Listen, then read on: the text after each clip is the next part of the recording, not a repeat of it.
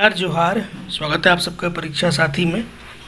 CGL को लेकर के देखिए, बहुत सारी क्वेरीज आते रहती है, ठीक है रिगार्डिंग एग्ज़ामिनेशन डेट मैं सबको बहुत स्पष्ट बोलता हूँ कि अगर आपको कहीं भी कन्फ्यूज़न है मन में कि सीजीएल होगा या फिर नहीं होगा तो आगे रेलवेज़ की एग्ज़ामिनेशन भी है। अभी सिविल कोर्ट की वैकेंसी आई है। कोर्ट की पहले भी वैकेंसी असिस्टेंट की आई थी। क्लर्क की एक वैकेंसी हाई कोर्ट में पहले भी आई हुई थी।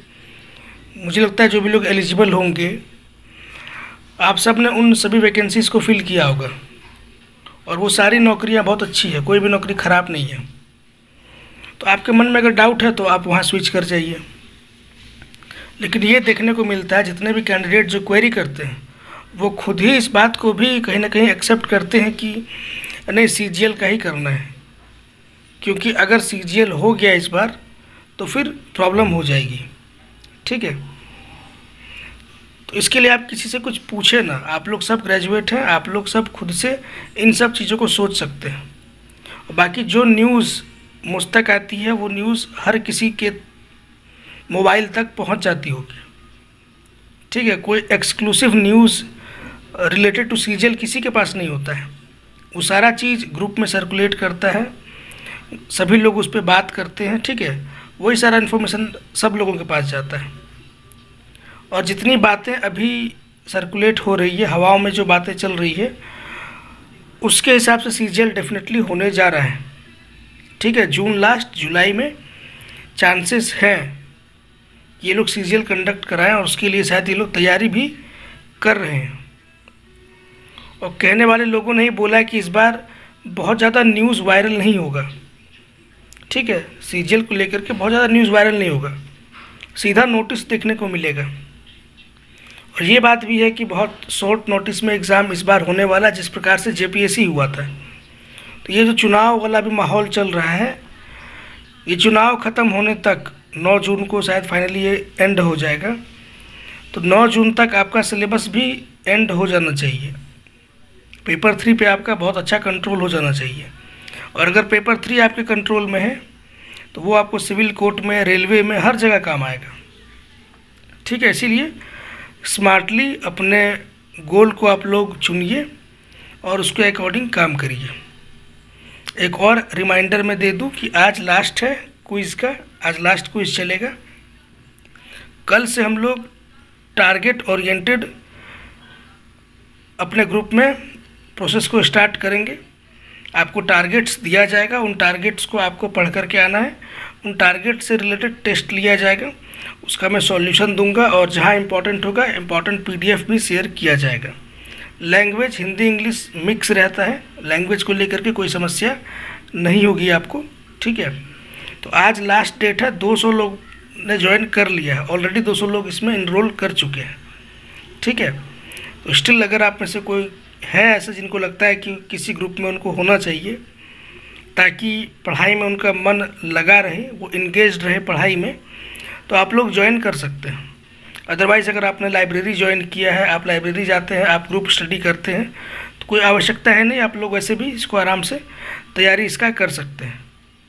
और अब हमारे टारगेट बैच में सिर्फ़ पेपर थ्री का हम लोग करा रहे हैं, इसमें लैंग्वेज का हम लोग नहीं करा रहे हैं, ठीक है? ये भी आपको मैं स्पष्ट बता दूँ, बहुत सारे लोग मैसेज करके पूछते हैं।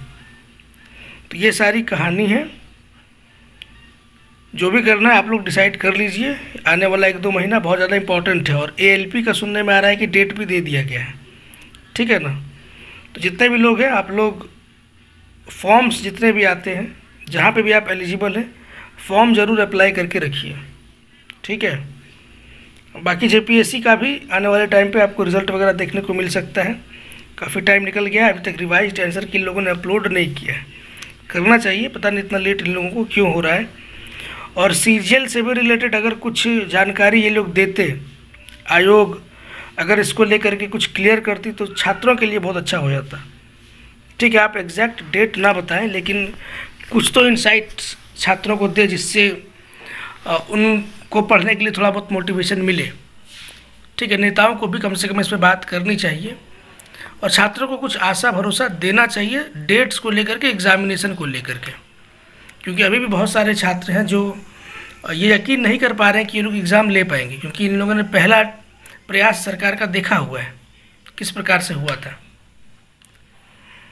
तो बहुत इंपॉर्टेंट है, ये आयोग के लिए कि आप प्लीज़ इस पर कुछ नोटिस या कुछ दे छात्रों को ऐसा कि ये लोग यकीन कर सकें। ठीक है डायरेक्ट नोटिस देना कि हम एग्ज़ाम ही लेंगे दस पंद्रह दिन के बाद, ये कहीं ना कहीं से एक छल जैसा है। बाकी आयोग को जो ठीक लगे वो तो करेगी। नेताओं को कम से कम अपने तरफ़ से कुछ इस पर और क्लियर जानकारी छात्रों को देनी चाहिए। बाकी आप लोग क्या सोचते हैं इस विषय में, आप लोग भी कमेंट करिएगा। मुझे लगता है कि बीच में एक दिन ट्विटर कैंपेन वगैरह फिर से रखा जाए और उसमें सरकार को टारगेट नहीं करना है सरकार से रिक्वेस्ट करना है। कि प्लीज़ आप लोग जैसे ही सी कंडक्ट कराइए, छात्र जेएमएम को वोट देंगे, अभी भी देंगे। अगर आप सी अच्छे से करा लेते हैं तो बहुत सारे छात्र ऐसे हैं जो मूव कर जाएँगे जेएमएम की तरफ़। आपके परफॉर्मेंस को देख करके कि आपने दो जे कराया, आप सी भी कराने जा रहे हैं तो बहुत बड़ी बात है। तो मुझे लगता है कि एक पॉजिटिव ट्विटर कैंपेन छात्रों को आगे चल करके करना चाहिए या आने वाले एक दो दिन में ऑर्गेनाइज करना चाहिए। ठीक है? जितने बड़े यूट्यूब चैनल्स हैं, उनको भी इस पर बातें करनी चाहिए। थोड़ा सा एक प्रेशर अगर क्रिएट किया जाए अभी के टाइम पे तो कहीं ना कहीं जो तंत्र है, वो और एक्टिवली इस पर काम करेगा। जितने भी बड़े चैनल्स हैं, उनको भी इस पर एक बार ज़रूर खुल करके बात करनी चाहिए, क्योंकि मौन हो जाने से सॉल्यूशन नहीं है। ठीक है? बाकी आप लोग कमेंट करिए, आप लोग किस एग्ज़ामिनेशन को फोकस कर रहे हैं, किसकी तैयारी करेंगे, क्योंकि एग्ज़ाम तो अभी बहुत सारा होने वाला है। ठीक है? और अगेन एक बार रिपीट कर दूँ, जिनको ज्वाइन करना है, आज लास्ट डेट है। जितना भी मैंने क्विज़ अभी तक कराया है, अभी तक लगभग डेढ़ सौ से ऊपर क्विज़ हो गया है। और सारे क्वेश्चंस बहुत ही अच्छे क्वेश्चन है क्वालिटी लेवल क्वेश्चन है। तो टेलीग्राम पे मैंने कराया है तो अभी भी आप ज्वाइन करेंगे, वो सारा क्विज़ आपको वहाँ पे दिख जाएगा। ठीक है? तो उसके लिए बहुत ज़्यादा परेशानी नहीं है, लेकिन टारगेट एक बार देने के बाद फिर दोबारा उन टारगेट्स को रिपीट करना ग्रुप में, ये कहीं ना कहीं थोड़ा प्रॉब्लमेटिक हो जाता है, क्योंकि चीज़ें मेरे व्हाट्सएप में सेव नहीं रहती है। मैं उसको डिलीट कर देता हूँ पूरा कंटेंट को।